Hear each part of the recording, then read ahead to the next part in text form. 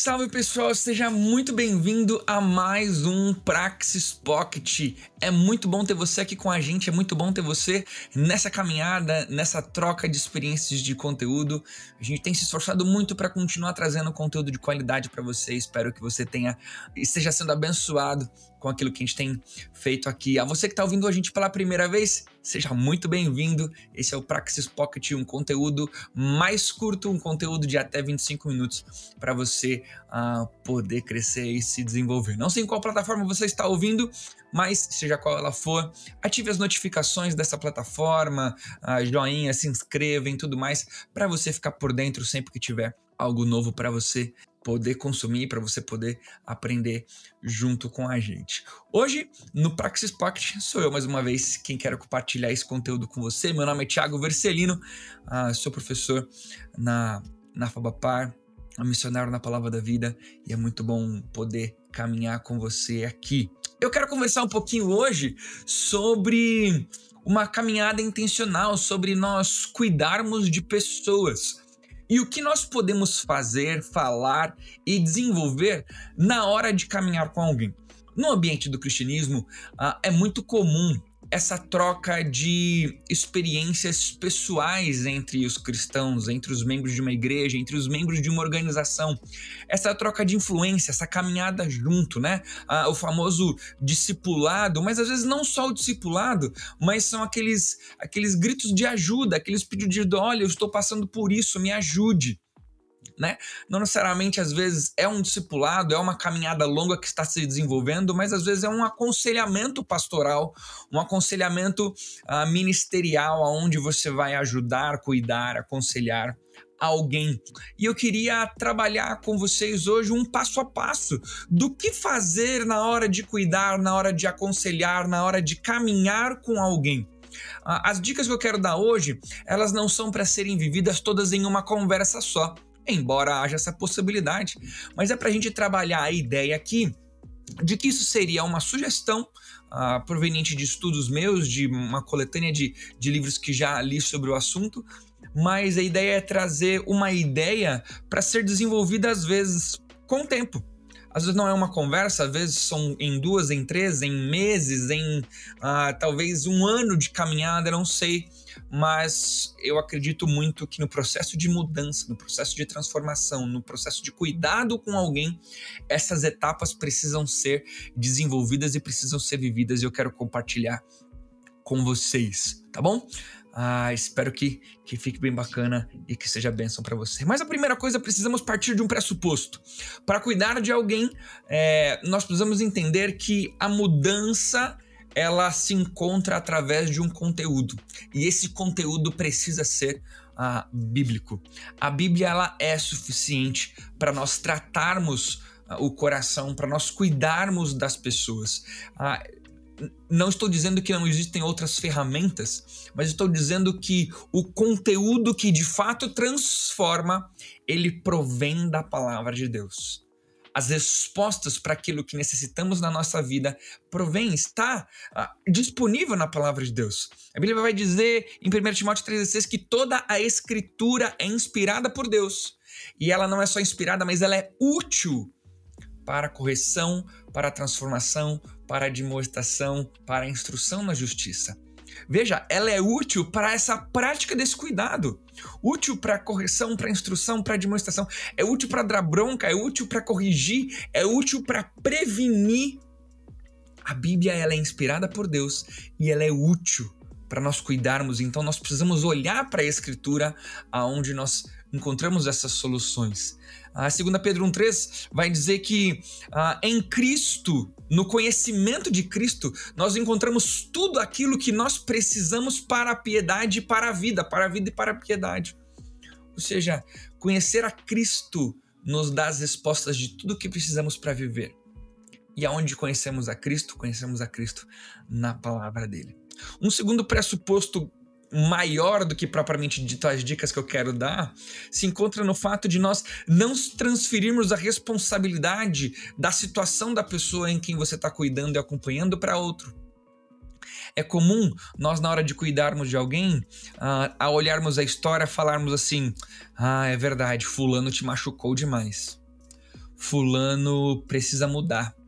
Mas o problema é que talvez a mudança de Fulano ou de fulana, a mudança de uma circunstância, a mudança de um emprego, a mudança de um relacionamento, a mudança de uma amizade, a mudança de uma condição financeira, a mudança de uma condição social pode auxiliar a transformação de alguém. Mas seja qual for o motivo do coração da pessoa que está se machucando, que está sendo machucado, que está causando sofrimento, ira, que está causando ansiedade, que está causando qualquer tipo de dano à vida dela, vai continuar lá. Além de circunstâncias poderem ser transformadas, precisamos entender que na caminhada com alguém, a responsabilidade está no próprio indivíduo, no coração daquela pessoa. Quando cuido de alguém, por mais que esse alguém tenha circunstâncias para serem transformadas, é necessário, mas essa transformação acontece quando a gente de fato vai ao coração dessa pessoa, quando conhecemos as questões que estão lá dentro do coração. Então, apesar de existirem coisas para serem mudadas, a responsabilidade ainda de encontrar alegria em meio a uma circunstância ruim não está fora do indivíduo, mas está dentro do coração desse indivíduo a transformação pela palavra de Deus e a responsabilidade do próprio indivíduo uh, é um grande guarda-chuva para caminharmos com alguém. Diante desse grande guarda-chuva de a Bíblia é suficiente, de a palavra de Deus encontrar as respostas, de as responsabilidades uh, estarem no próprio indivíduo de mudança, é, deixa eu dar para vocês três passos, tá bom? Em cada passo vai ter algumas, algum, alguns pontozinhos aí. O bom é que você pode ouvir correndo tudo, mas você pode também ir pausando para anotar aí. Mas nessa caminhada, através desses grandes princípios que eu coloquei, o primeiro ponto é o que nós dizemos a alguém que está precisando de ajuda. O que dizer a essa pessoa? Qual conteúdo que nós temos que trabalhar com ela? Deixa eu dar algumas sugestão, sugestões. Primeiro, uh, essa pessoa precisa entender que ela é pecadora. E que o pecado é quem causa muitos dos problemas que estão na vida dela. Muitos não, diria todos. Uh, embora existam várias uh, condições específicas, mas é o pecado, o pecado pessoal, o pecado do outro é o pecado.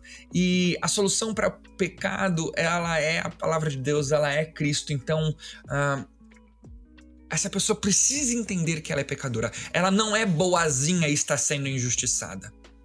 Ela pode até ter conceitos bons, mas ah, faz parte da humanidade o pecado que está em cada um de nós. Além de entender que ela é pecadora, é importante, como eu já vinha falando dessa responsabilidade do indivíduo, essa pessoa entender o que dizer a essa pessoa é dizer para ela que tudo vem do coração. Toda transformação vem do coração. O coração do ser humano, né? Coração na Bíblia a gente entende como mente, como aquilo que é interior, né? Vai dizer, a Bíblia diz que a boca fala do que está cheio do coração. O homem bom, do bom coração, do coração tira o bem. O homem mau, do mau coração tira o mal. Ah, então, o conteúdo do coração é o que transforma, é o que sai de nós. Se sai pecado, se sai espinho, se sai sofrimento, se sai ansiedade, é porque o coração está com um problema para ser resolvido. Não cuidar de coisas externas, mas do coração. Se o coração é bom, vai sair, vai produzir coisas boas. Tudo vem do coração.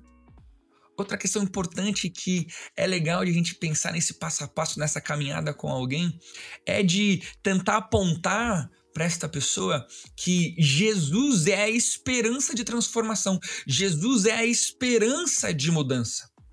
Galatas 2:20 vai já que já não Paulo diz que já não sou mais eu quem vive, mas Cristo vive em mim. E é muito comum no processo de mudança de pessoas, de transformação de pessoas que nós cuidamos, ah, as pessoas tentarem dizer: não, eu vou conseguir, eu vou parar, eu vou melhorar. Só que a esperança dessa melhora não somos nós, não é o próprio indivíduo porque a esperança de, de melhora no próprio indivíduo em si, nas suas próprias forças, vai ser colocar as forças e a esperança em coisas que são falhas. Eu sou falho. Ah, o outro vai mudar e a minha vida vai melhorar. Colocar a esperança de mudança em outro, em alguém, também é colocar a esperança em algo que é falho. Agora, se já não sou mais eu, mas Cristo vive em mim, a esperança de mudança e de transformação está em Jesus. E em Jesus existe uma garantia. Em Jesus existe uma certeza. Jesus é a esperança de mudança. Jesus precisa fazer parte do processo de mudança. Confiar em Cristo, entregar as circunstâncias a Cristo, crer na obra transformadora de Deus é nossa esperança de mudança. É através de Cristo que habita em nós o Espírito Santo. E esse Espírito Santo, em Atos 1,8, vai dizer que em nós nós temos poder para ser testemunhas de Jesus. Esse Espírito Santo, ele possui um fruto, que é o fruto do Espírito. E esse fruto do Espírito que vem através da salvação em Cristo Jesus, do Espírito Santo que habita em nós, ele nos dá um fruto que é amor, alegria, paz, paciência, amabilidade, bondade, fidelidade, mansidão e domínio próprio. Perceba, é o fruto do Espírito que recebemos em Cristo Jesus, que é a capacidade que temos de mudança. Não é a nossa própria força, a nossa própria determinação, mas é o poder de Cristo através do Espírito Santo em nós. Em Cristo, através do Espírito Santo, aquela bela frase, ela cai por terra. A frase de: Ah, eu não consigo. Se você não consegue, existem duas opções ou você não consegue porque você não quer conseguir, ou você não consegue porque você não tem o Espírito Santo. Porque se você quer e você tem o Espírito Santo e vai trabalhar uma cosmovisão completa da Bíblia, de cuidado, de acolhimento, você vai conseguir em Cristo Jesus transformar a sua história, transformar a sua vida, porque o Espírito te capacita. Dizer que não consegue é dizer que o Espírito não é capaz, é dizer que Cristo não é capaz.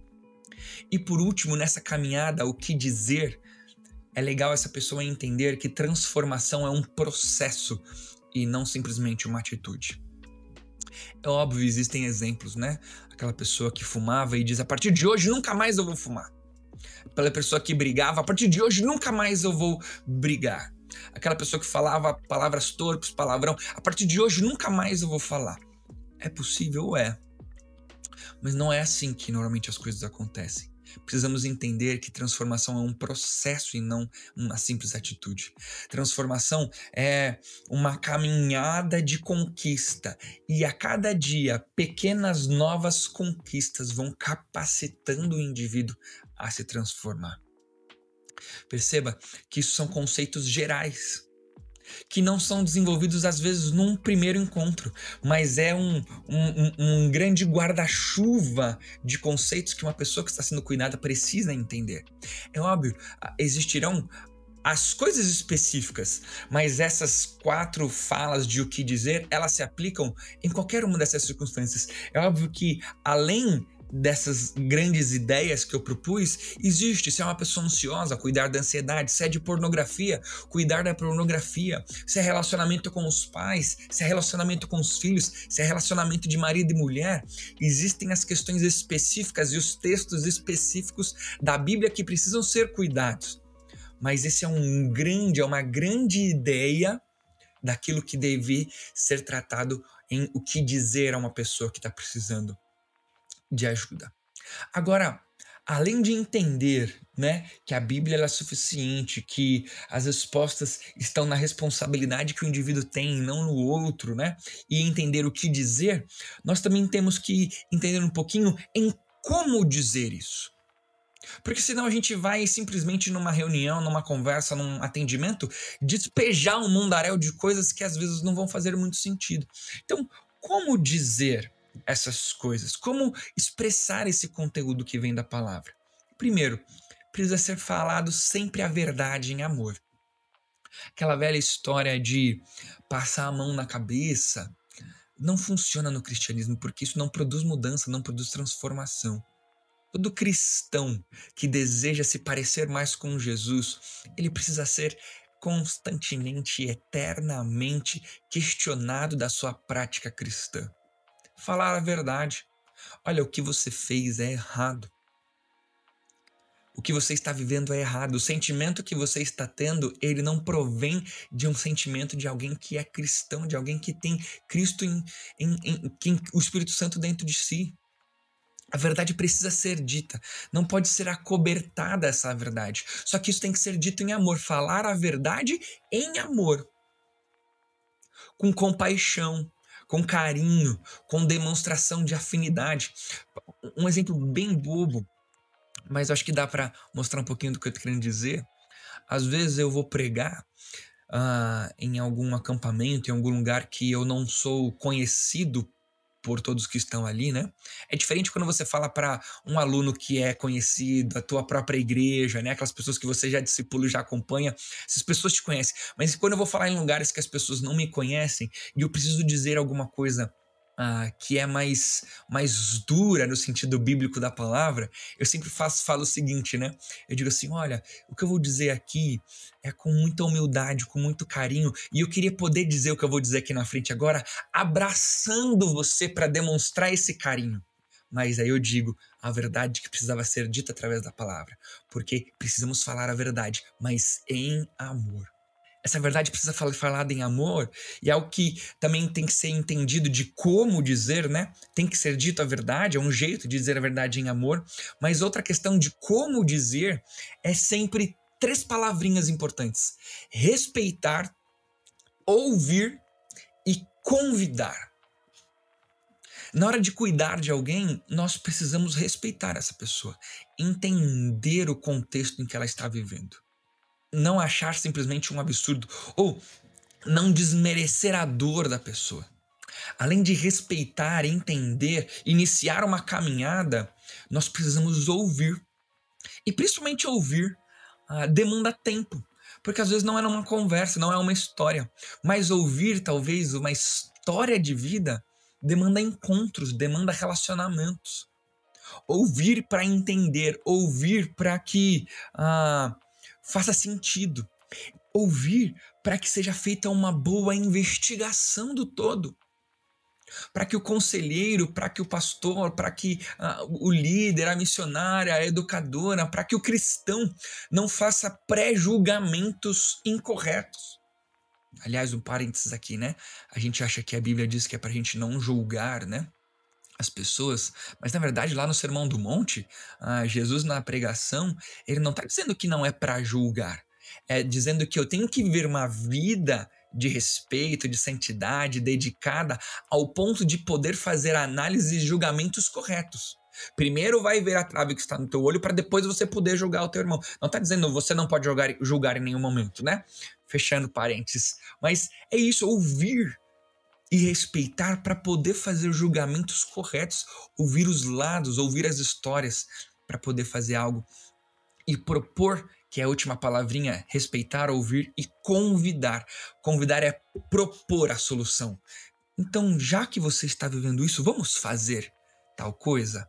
Vamos mudar em como dizer as coisas para alguém, as palavras para alguém, além de respeitar, além de ouvir, precisa haver o convite senão vai ser simplesmente uma rodinha de prestação de contas e nada mais.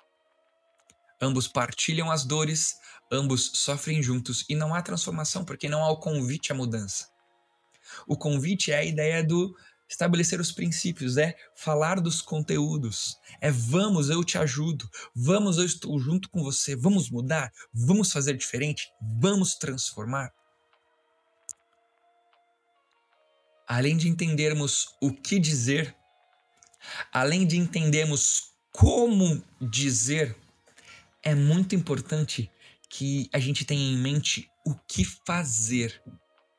O que a pessoa que está sendo cuidada precisa fazer? Qual a resposta que essa pessoa que está encaminhada com você, que você tem a oportunidade de cuidar, ela precisa ter?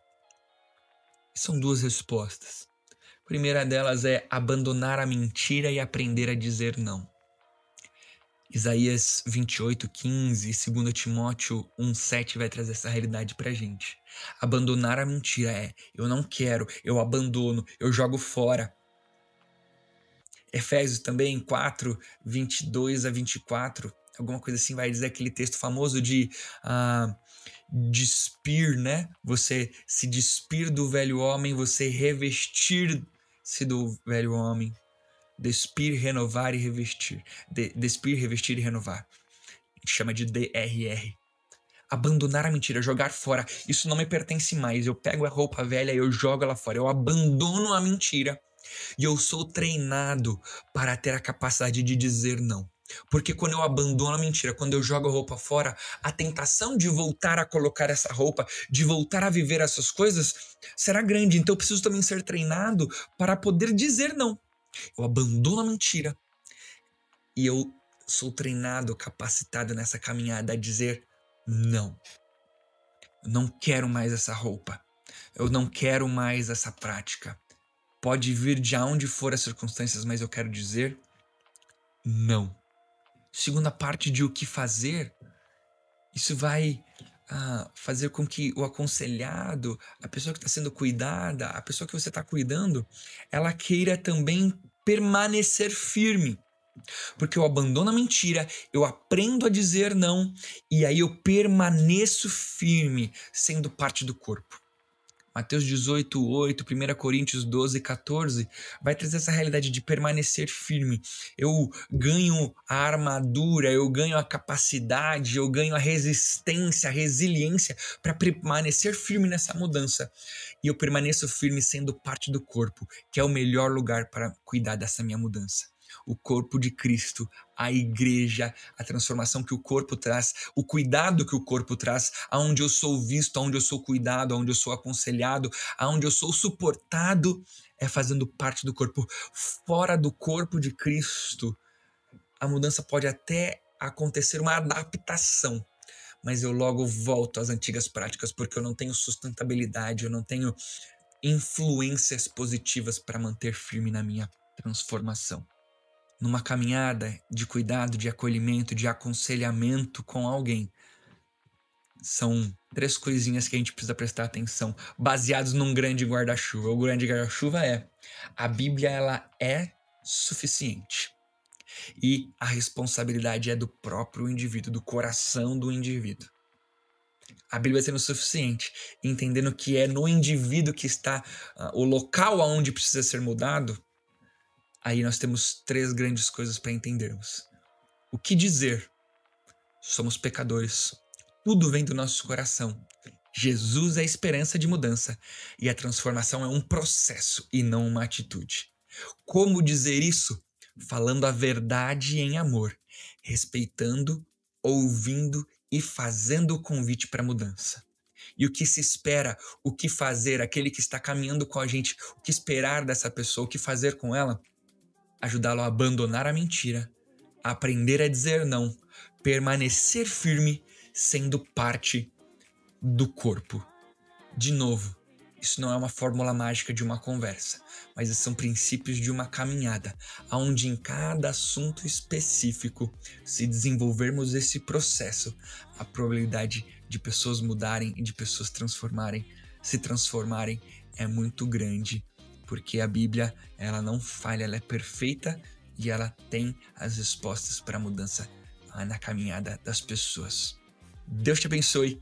Muito obrigado por estar com a gente em mais um Praxis Pocket e até o próximo episódio. Até mais, um abraço. Valeu!